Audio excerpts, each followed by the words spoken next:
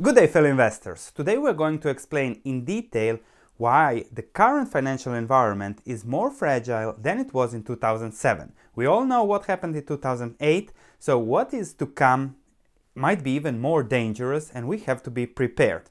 The source of this video is a recent interview that Dr. Professor Black Swan Nassim Taleb made for Bloomberg. However, he doesn't explain things in a methodical way. He is very, very intelligent, but he doesn't really put things into perspective. So in this video, I want to put his thoughts into perspective by explaining everything in detail. So the topics are how come that the world is more fragile today? Of course, it leads to debt. So we're going to look into the debt around the world, what's going on, then we're going to see where is the financial world already cracking. So the first indications of what is to come, stock market crash, economic collapse, currency collapse. That's also what we are going to discuss, explain. And then we're going to see, okay, if that is about to happen or there is a high probability or that is a highly probable risk that's going to happen, how to position ourselves at the end so that we are at least protected. So let me immediately start with the debt, which is the core of Taleb's thesis. So many think that we have had beautiful deleveraging over the past decade, but that's not correct. The debt is higher than it was in 2007. It is just in different places. Let's see. If we first look at the household debt outstanding, the mortgage debt, we see that it is at the same level as it was in 2008. So no fears there, 10 years later house prices are higher, the debt is at the same level. So someone would say no risk there. But look at where the debt has gone. So the government has taken on much more debt and look at where it is now. It is more than double where it was in 2008. So the debt went from housing to the government. If we look further at corporate debt, corporations just took advantage of low interest rates and leveraged themselves to the hilt.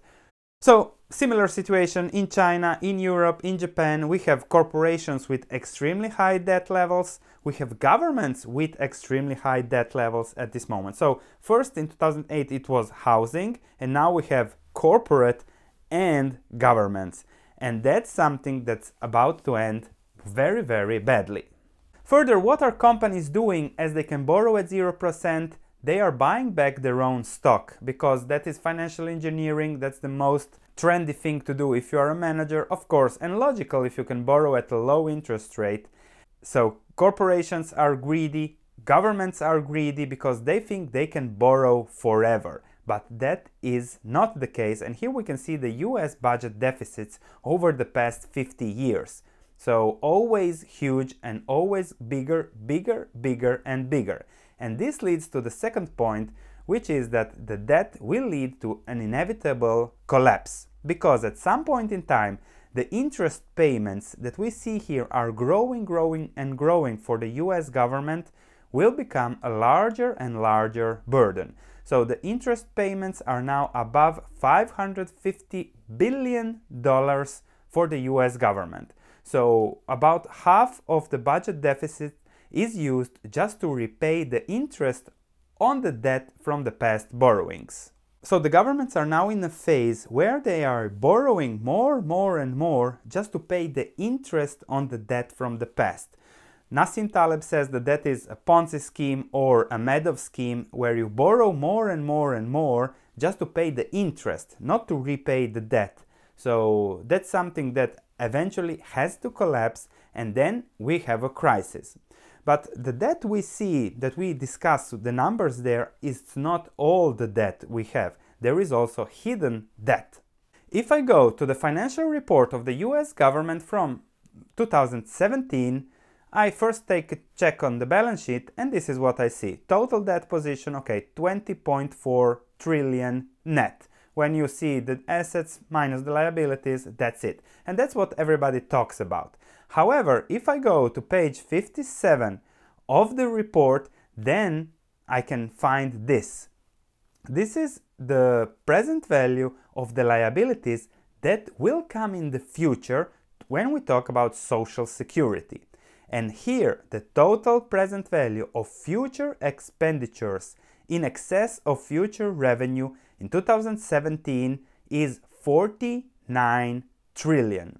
So the US government will have to put up to close the gap of 49 trillion at present value to cover for social security expenditures in the future. So that is the present value. We have 21 trillion that everybody is already scared about and now we have 49 trillion on top of the 21 trillion that nobody is talking about because that will come over the next 75 years. Who cares about the 75 years? Well, you cannot put things under the carpet for eternity. Sooner or later, those things come out, and that is what Taleb is warning us. Now, where are things already cracking?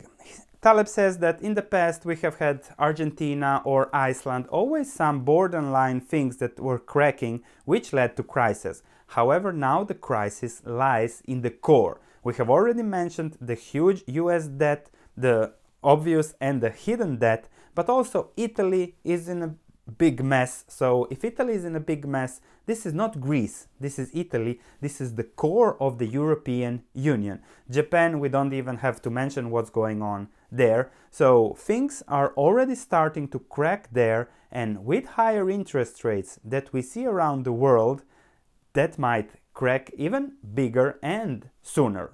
Now, as the main problem is debt, how do you pay off debt? You pay off debt by debasing your currency. By lowering the value of your currency, it's much easier to pay debt. However, that implies inflation, and inflation is something nobody, never in history managed to control. So inflation is controllable because like they hoped to spur some inflation in the last 10 years, they didn't. They had mostly def deflation, even if they printed money. When they wanted to really hit a lot of inflation to repay the debt, that will be uncontrollable again because monetary policies can't control our behavior. If I know there will be inflation, I will do everything to prevent it, and that usually leads to hyperinflation. Let me show you this. Just to change countries, this is the United Kingdom inflation in the 1970s. Look at the average. We are talking inflation rates of 25%, 16, 16.9, 16.2, 8.4, 12, 16, 10. So a decade of such inflation. Do you know what it does to the debt? It erases the debt, but it leads to a lot of problem and you have to be ready for inflation.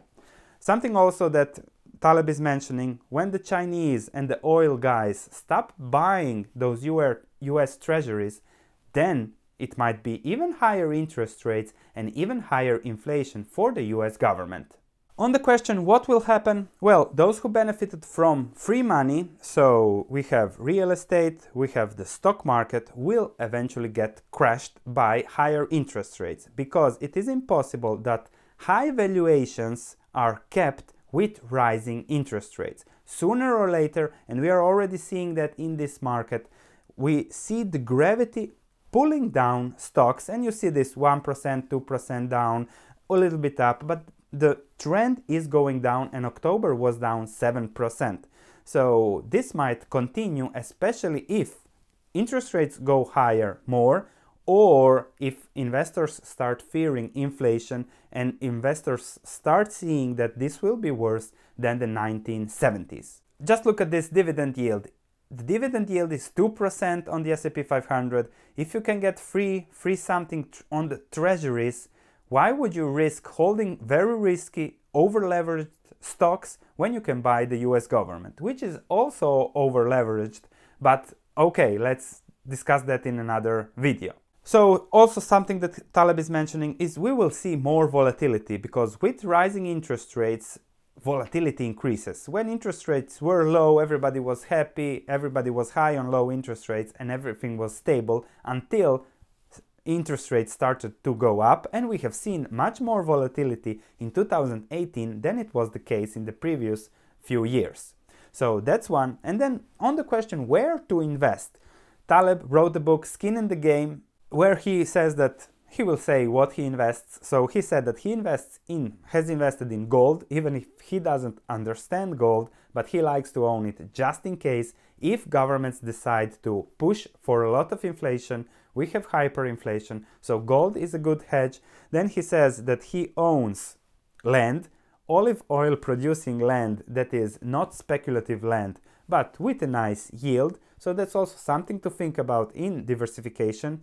And then he said that bonds should be a terrible investment because those go down with interest rates going up, especially if you have inflation. And I want to remind my viewers that in the 1970s, bonds were called certificates of confiscation. So keep that in mind if you invest in bonds.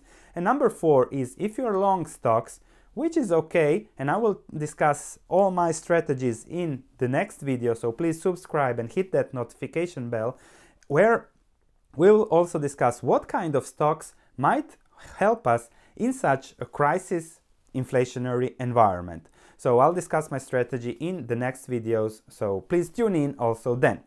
So stocks, if you are long stocks, please be hedged with protective put so that in case there is a crash, you can see protection. So Taleb is all about protection in this market. And the main message is limit your downside because things are looking much worse than it was the case in 2007. So thank you for watching. Please subscribe to this channel because we are going to look into various investments from gold miners, gold uh, hedges, quality businesses, focus on great businesses with low debt, with low debt risk in order to protect, protect ourselves from whatever might happen. Thank you for watching and I'll see you in the next video.